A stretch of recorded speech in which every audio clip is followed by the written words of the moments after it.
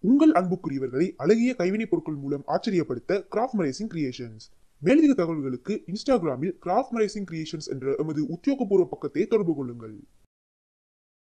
அனைவருக்கும் வணக்கம். கிட்டத்தட்ட இரண்டாயிரம் வருடங்களுக்கு முன்பு வரை இலங்கையில் பருமுக என சொல்லப்படுற ஒரு பிரிவினர் வாழ்ந்திருக்கிறாங்க. இலங்கையில கிடைச்ச அந்த கால கல்வெட்டுகள்ல பெரும்பாலானவற்றில இவர்களை பற்றி குறிப்பிடப்படுது அவ்வளவு முக்கியத்துவம் இவர்களுக்கு வழங்கப்பட்டிருக்கிறது என்றால் இவர்கள் யார்? இதை பற்றித்தான் இந்த காணொளியில் பார்க்க போகிறோம்.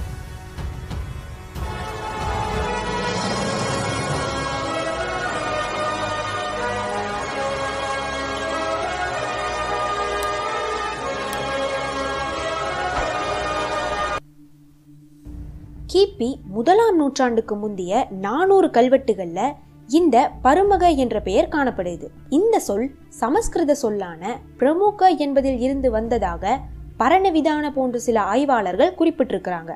ஆனா பிரமுக என்ற சொல் பருமக என்று தெரிந்திருக்க வாய்ப்பில்லை என்றும் பெருமகன் என்ற தமிழ் சொல்தான் பருமக என்ற பெயருடன் நெருங்கிய தொடர்புடையது என்றும் ஹெச்சிபி பெல் முதலியார் ராசநாயகம் போன்றவர்கள் குறிப்பிட்டிருக்கிறாங்க.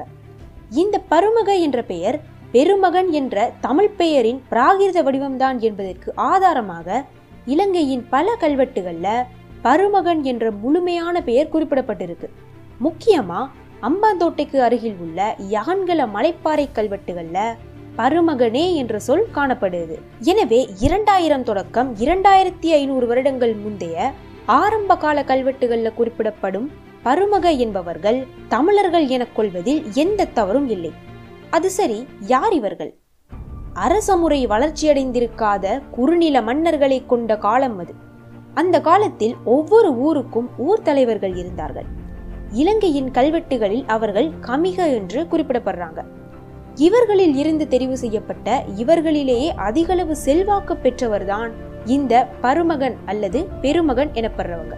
பல ஊர்களின் குளங்கள இணைச்சு உருவாக்கப்பட்ட குலத்தோதிகளை நிர்வகிக்கும் பொறுப்பு இவர்களுக்கு இருந்தது. அது தவிர இவர்கள் வரி அறவிடுறவங்களாகவும் சில கல்வெட்டுகள்ல அரசர்களாகவும் கூட குறிப்பிடப்பட்டிருக்கிறாங்க.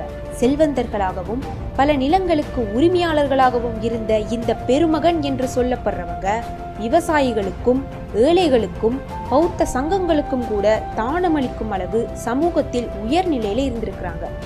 குறுநில மன்னர்கள் என கூறத்தக்க இந்த பருமகமார் பிற்காலங்களில் அரச முறை வளர்ச்சியடைந்த பின்பு படை தளபதிகளாகவும் கூட இருந்திருக்கிறாங்க. இதே போல சங்க காலத்தில் பெருமகன் எனப்பட்ட ஒரு பிரிவினர் வாழ்ந்திருப்பதற்கு சங்க இலக்கியங்களில் சான்றுகள் இருக்கு. இந்த பெருமகன் என்ற சொல் குறிப்பிட்ட குடிமக்களின் தலைவன் அல்லது ஒரு கூட்டத்தின் தலைவன் என்ற பொருளில் சங்க இலக்கியங்களில் பயன்படுத்தப்பட்டிருக்கு.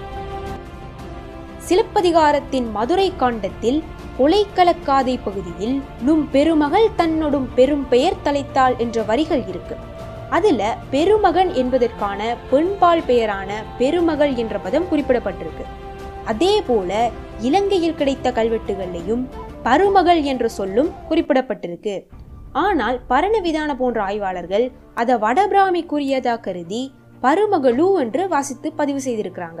ஆனால் அதில் தமிழ் எழுத்துக்குரிய லகரம் தெளிவாக தெரிவதனால் அதனை பருமகள் என்றுதான் வாசிக்க வேண்டும் என்று பின்வந்த வரலாற்றாய்வாளர்கள் பலரும் குறிப்பிட்டிருக்கிறாங்க.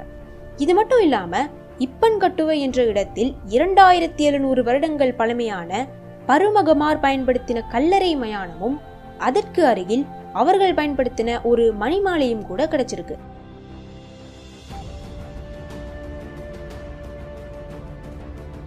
கிபி ஐந்தாம் நூற்றாண்டுக்கு முதல் தமிழர்களை தவிர்த்து வேறு மொழிவழி தேசிய இனங்கள் இலங்கையில வாழ்ந்ததுக்கு எந்த ஒரு சான்றும் இல்லை என்றதுனால இலங்கை முழுவதும் பெருமகன்கள் எனும் இந்த தமிழ் தலைவர்கள் இரண்டாயிரத்தி ஐநூறு தொடக்கம் இரண்டாயிரம் வருடங்கள் முன்பு வரை வாழ்ந்திருக்கிறார்கள் என்ற முடிவுக்கு நாம் வரலாம்.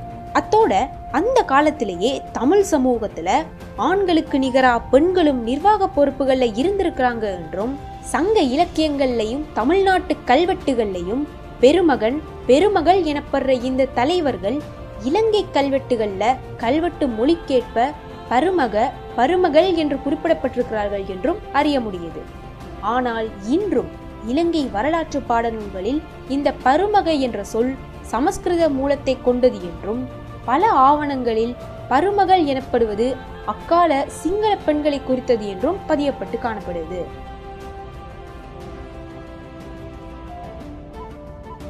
மேலும் இது போன்ற இலங்கையின் தமிழர் தொன்மைசார் விடயங்களை பற்றி அறிய தொடர்ந்தும் எம்மோடு இணைந்திருங்கள். நன்றி வணக்கம்.